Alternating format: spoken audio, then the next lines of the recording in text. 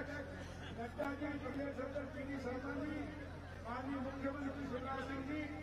और भारतीय जनता पार्टी के विकास कार्य को देखकर नीति नीति को देखकर देश भक्ति को देखकर